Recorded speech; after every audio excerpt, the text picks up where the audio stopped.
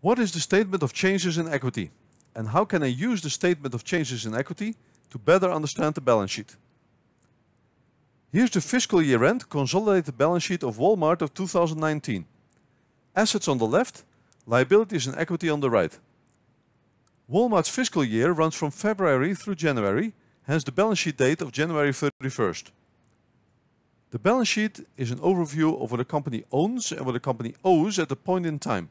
And one of its key components is equity, the book value of the shareholder capital. Here's the balance sheet of 2020. You can compare the amount of equity of last year's balance sheet to that of this year's balance sheet. If you want to know the details of how equity developed from one balance sheet to the next, then the consolidated statement of shareholders' equity will help you. It provides an overview of the changes in equity. Looking at the total change in equity of $1.9 billion compared to a total equity balance of around $80 billion does not seem like an overly exciting thing to do. However, within that net change in equity of $1.9 billion are several very large line items that move equity in different directions. These are worthwhile to review.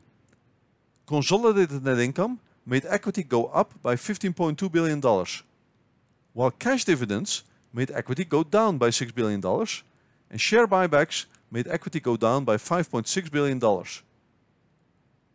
Let's review each of the line items of the statement of changes in equity. We will start with a high-level overview of total equity, and later on we'll take a look at the more detailed version of the statement of changes in equity. The first line item, the effect on the equity of the adoption of new accounting standards, is a technical one.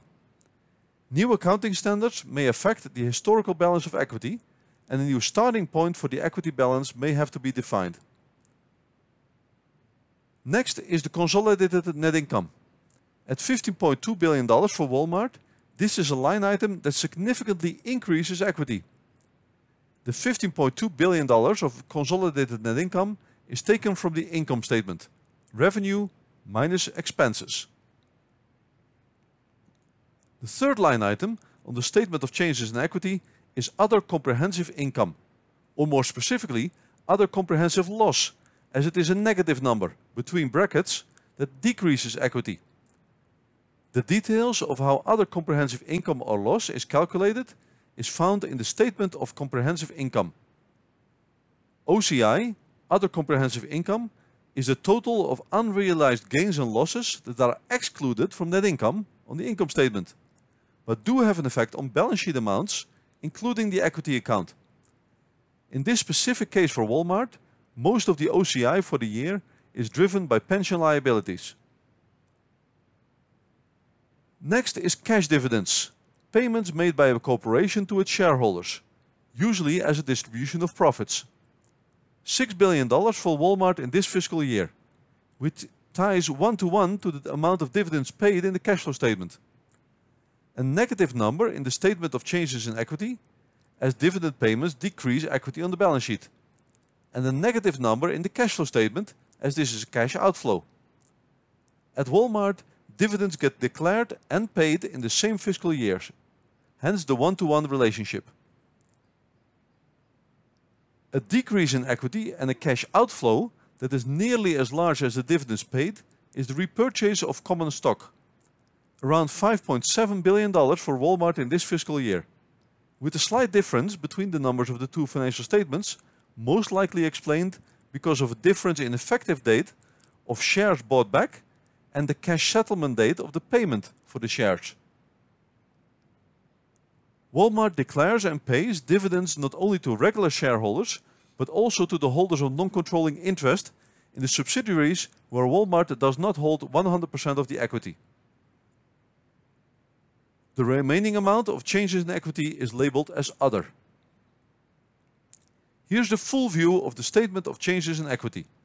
Same reconciliation, from $79.6 billion, last year's equity balance, to $81.6 billion, this year's equity balance, but a lot more detail as various columns are introduced. Common stock, capital in excess of par value, retained earnings, other comprehensive income or loss, the subtotal of Walmart shareholders' equity, non-controlling interest, and the total equity on the right.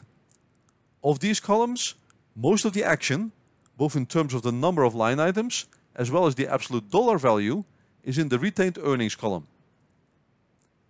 The statement of changes in equity, a useful overview that helps you understand the details of how equity developed from one balance sheet to the next. It shows the changes in profit, dividends, share buybacks, and other items that affect equity. Want to learn more about business, finance, accounting, and investing? Then subscribe to the Finance Storyteller YouTube channel and start watching the next video in the recommendation on the screen. Thank you.